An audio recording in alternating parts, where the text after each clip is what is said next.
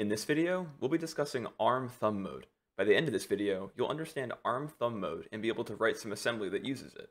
The ARM processor has two operating modes, ARM mode and thumb mode, both of which the processor can change between during code execution. By default, the processor operates in ARM mode, where the instructions are 32 bits wide. Thumb mode is a mode on the processor where the instructions are only 16 bits wide. What this means is that an instruction, such as this one, add R1 plus R0 into R1, the ARM mode instruction would normally be 4 bytes long. Instead, in thumb mode, this same instruction can be boiled down to 2 bytes. The developers of the ARM architecture realized that the 32-bit instruction had a lot of empty space in the instruction that didn't carry any valuable information, and then created thumb mode.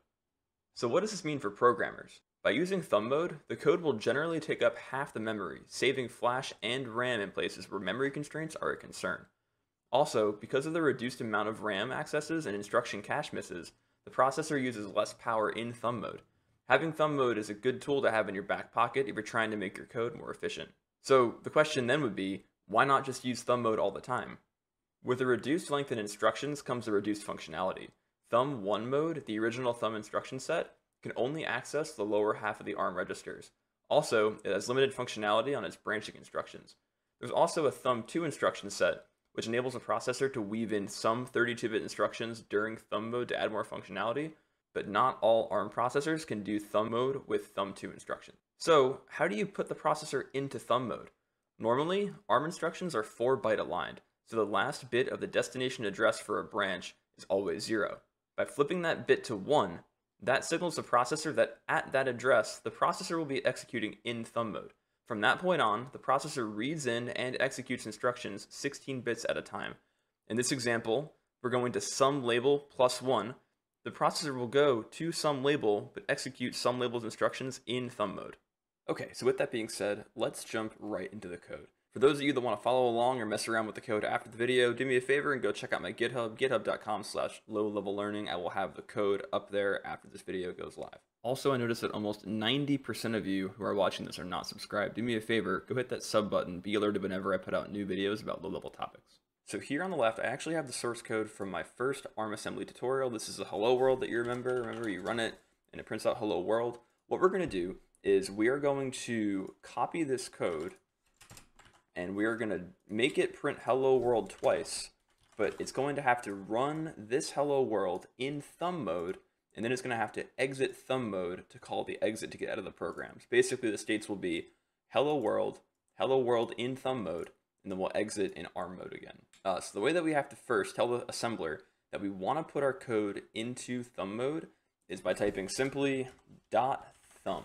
So that actually tells the processor to do everything south of that instruction in thumb mode. So we can actually assemble that real quick with the assembler, and then we're gonna object dump that object file. That'll print all the code in that object dump to the screen, and we can actually see what the bytes look like for that code. So here we have our start label. As I said, the processor starts in ARM mode. All the instructions are four bytes wide. Um, and then once we get to hello world thumb, it actually goes into thumb mode, which is pretty interesting, right? All of the instructions are two bytes wide. But there is a problem here where the exit is still in thumb mode, and that's not what I want. I want it to be in ARM mode for the sake of this tutorial. So I have to tell the assembler to put it back into ARM mode with .arm. So now start is in ARM mode, hello world is in thumb mode, and then exit is back in ARM mode again. But if you actually run the code like this, right? So you assemble it, you compile it, and then you run it, you're actually going to get a really weird error. So it's going to compile and run correctly, but you're only going to get one hello world.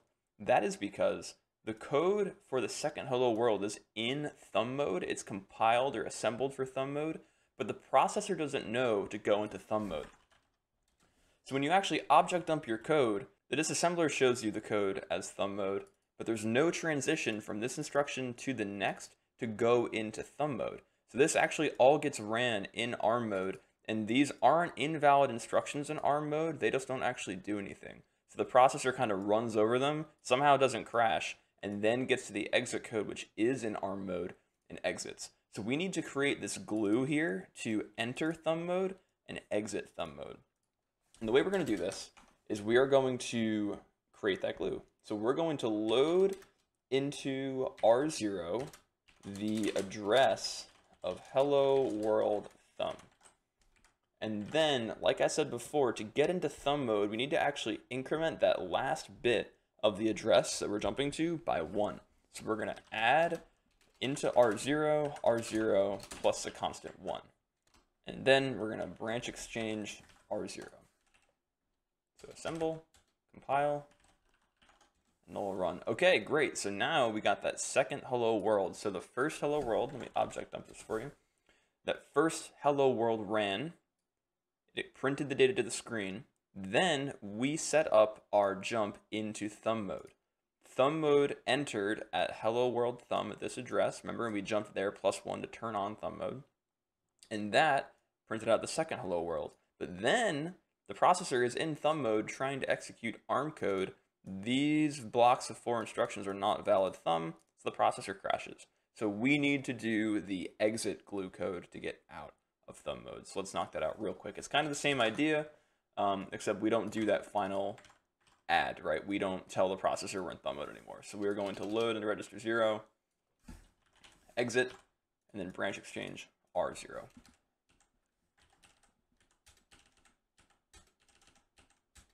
Cool. So we ran it. Uh, we were in ARM mode here, we printed hello world. We were in thumb mode here, we printed hello world. Then we jumped out of thumb mode, back to ARM mode, and we said, get out of here. Do me a favor, hit that thumbs up button uh, on this video. Really appreciate it. But hey, I hope you learned something in this video. If you did, do me a favor, hit that thumbs up button, hit subscribe, and I'll see you guys in the next video. Thanks for your time. Bye-bye.